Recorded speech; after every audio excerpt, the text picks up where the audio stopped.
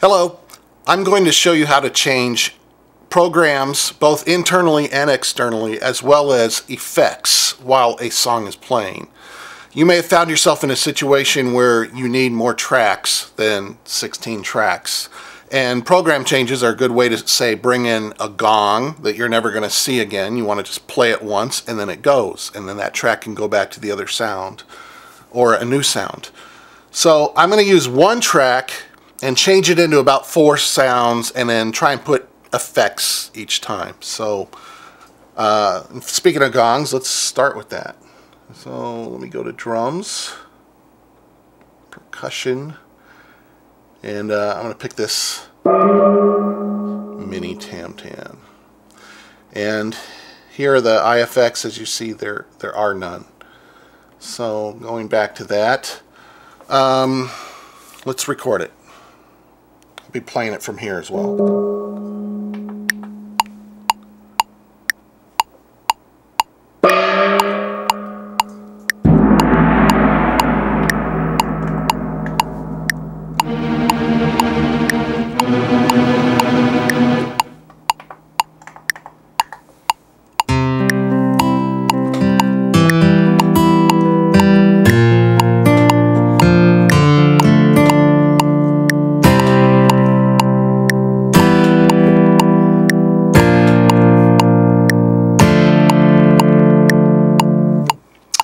Okay, so there are the sounds.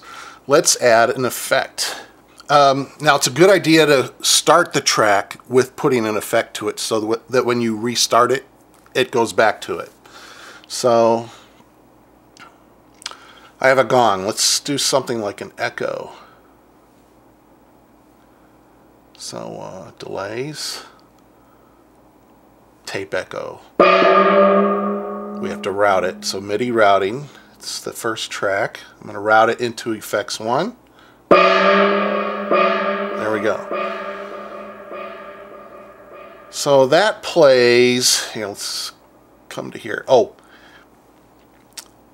put effects setting to track. So you can get really lost here because you have to have the right effect, since you have to do them one at a time, the right song, the right MIDI track, uh, the right measure. So measure one, it, it knows I'm there right now. And see, at the beginning of the measure. So, okay. Okay, put the effects to the track. Now the next sound, see. Strings come in at four. Let's give those a stereo random filter.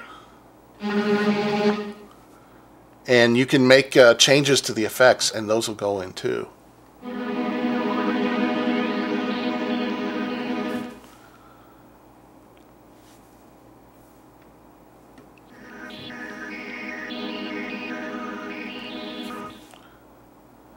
Alright. Um, put effect setting to track. Now this is at 4. So there we go. Then the guitar comes in. Let's see where that comes in.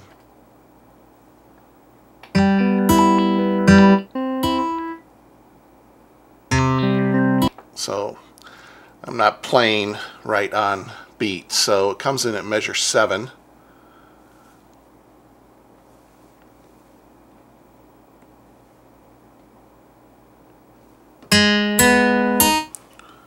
It's on the bass amp model, which uh, is an effect I use to really brighten things up when I want something to cut through. Don't want it too bright. So I'm going to put that effect to track.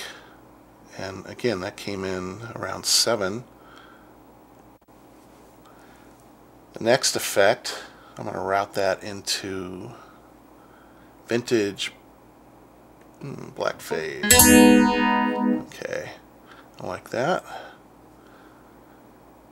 Put effect setting to track, same thing. This is uh, effect 2, so we gotta pick that. And I'm going to route that into another effect. And this third effect, uh, we'll use some delay here. Um, multi-band mod delay. Pretty cool. A little heavy though.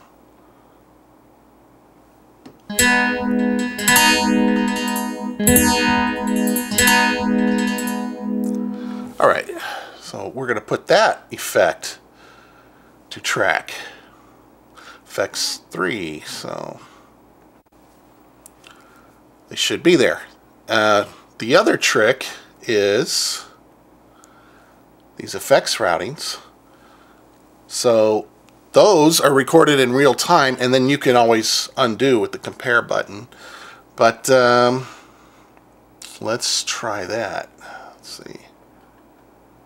So we'll start with the first effect, and here we go. This is still the guitar part.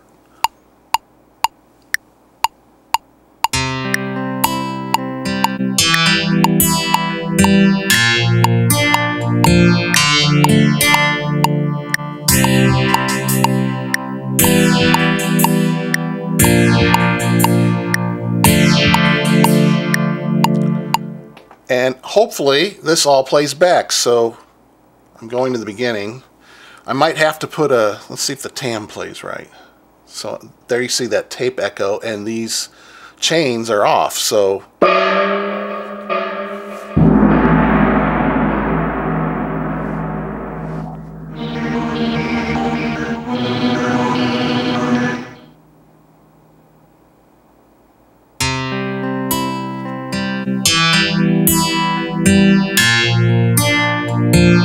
All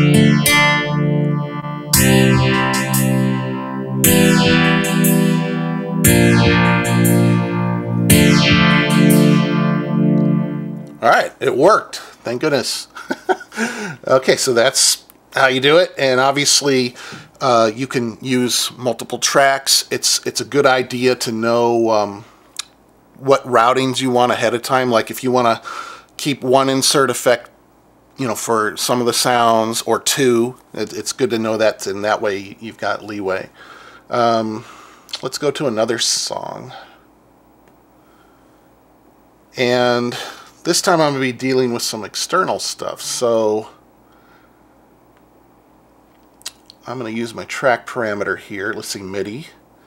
And I want to play just external sounds. So actually EX2 because I'm going to use the MSB LSB. And that's just a fancy way of saying program change. Um, the MSB I don't have to do anything with. But the LSB, this is your bank. So um, I'm going to use my DeepMind and I'm using the, the first bank, so that stays. The virus is on this channel and I'm going to use the second bank of that. So I go up to 1, 0 being the first, 1 being the second. And the actual changes uh, are made here. So here's the little program change number. So uh, let me turn these up. Let's see how we are here. Okay. That's the DeepMind. So if I go to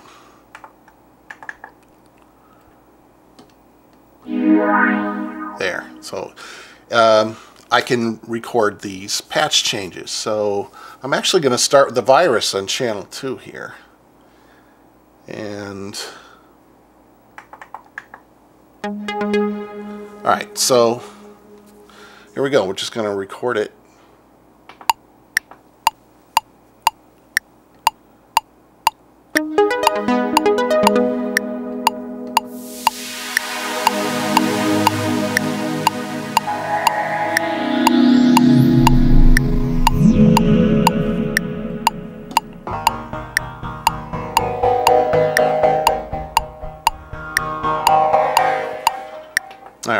Kind of messed it up, but those sounds should change. Um, let's, but you know what's an interesting thing, because I've tried this, and um, you won't see the sound change on screen here. So if I go to the beginning,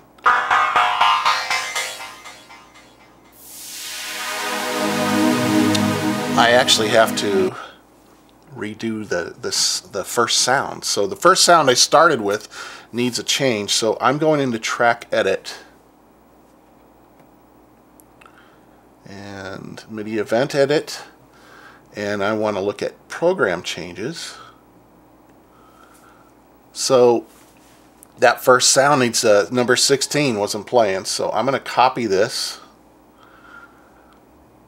see copy and insert it into one. So here is measure one and I'm going to change that to program 16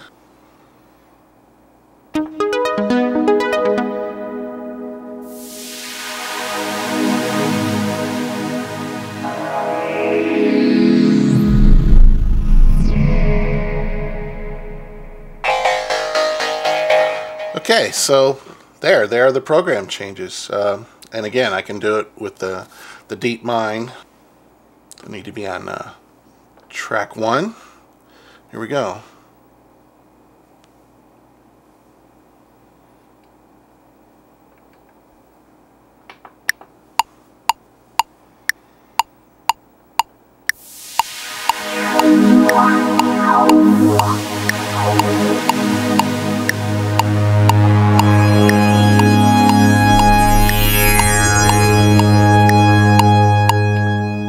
So both synths should be changing.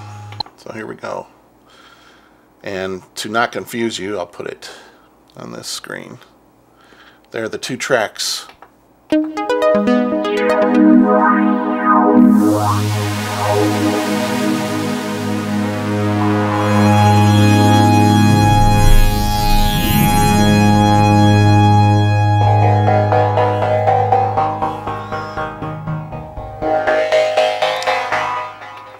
So anyways, you can get a lot of sounds just using those two tracks and having program changes going. But of course, you can fill all 16 MIDI tracks and keep changing. So there's a lot of possibilities.